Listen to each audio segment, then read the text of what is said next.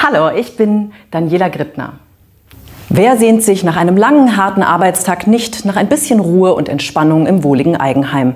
Ein Feierabendbierchen auf dem Balkon, ein nettes Barbecue im Garten oder einfach mal die Beine hochlegen. Wenn Sie das in Frieden genießen möchten, dann sollten Sie besser nicht in den Süden der Mainmetropole ziehen. Denn seit der Eröffnung der dritten Landebahn am Frankfurter Flughafen herrscht hier mehr Krach als Vorstadtidylle. Hallo und herzlich willkommen zu einer neuen Ausgabe von Forum Bildung.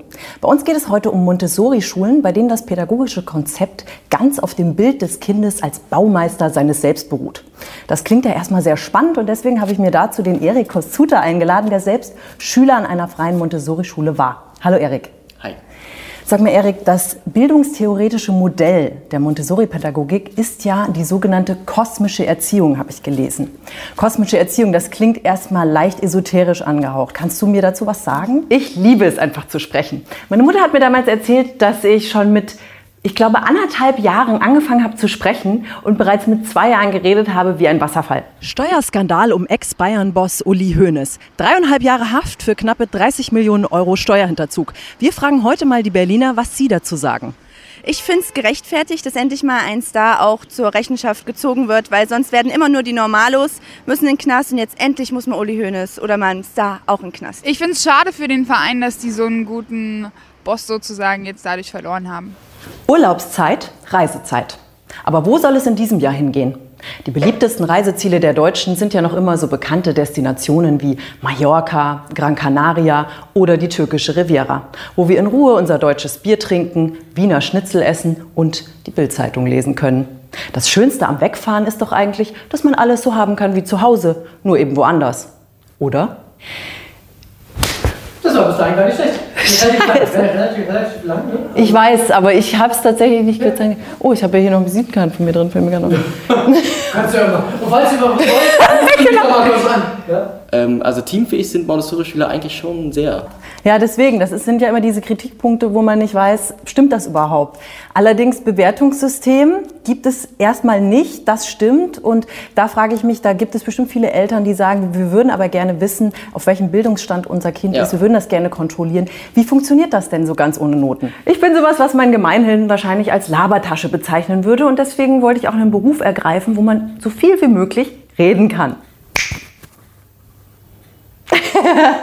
Täglich fliegen fast 700 Flugzeuge in nur 450 Metern Höhe über die Dächer der Anwohner hinweg. Und der Lärm der Düsenjets hat auch den Lärm am Boden gewaltig anschwellen lassen. Denn die Betroffenen machen ihrem Ärger am Frankfurter Flughafen lautstark Luft. Doch das Hauptargument des Flughafenbetreibers Fraport sind die Schaffung vieler neuer Arbeitsplätze. Wer hier die Nase vorn hat und ob es überhaupt eine Einigung zwischen den Fronten geben kann, das sehen wir nun von Peter Kaiser. Ex-Bayern-Boss Uli Hoeneß hat ja jetzt dreieinhalb Jahre Haft für 30 Millionen Steuerhinterzug bekommen. Was sagen Sie dazu? Ja, ich finde, das ist zu wenig.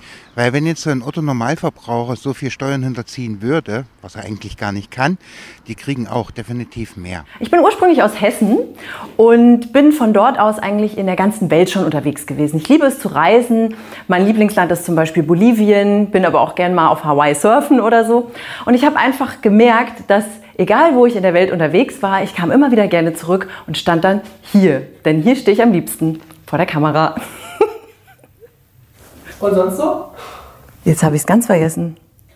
Ja, vielleicht sollte unsere Bildungsministerin Frau Wanka da auch mal ein Auge drauf haben. Ich denke, dass der Bedarf an solchen Alternativschulen ziemlich hoch ist und auch weiter steigen wird.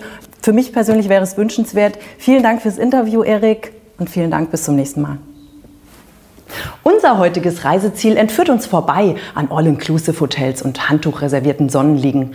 Und in der Nacht ist das einzige Licht, was uns leuchtet, nicht das der prall gefüllten Minibar, sondern der unsagbar hellstrahlende Sternenhimmel. Denn hier lässt man alles zurück und besinnt sich auf die Natur in ihrem ursprünglichsten Zustand, am Salar de Uyuni im Hochland Boliviens. Wie beeindruckend eine Reise durch die größte Salzwüste der Welt ist und was man auf einer Fahrt durch malerische Vulkanlandschaften vorbei an Flamingo-Lagunen und warmen Geysiren so alles erleben kann, das zeigt Ihnen nun unsere Reisereporterin Mariella Wagner. Das war's.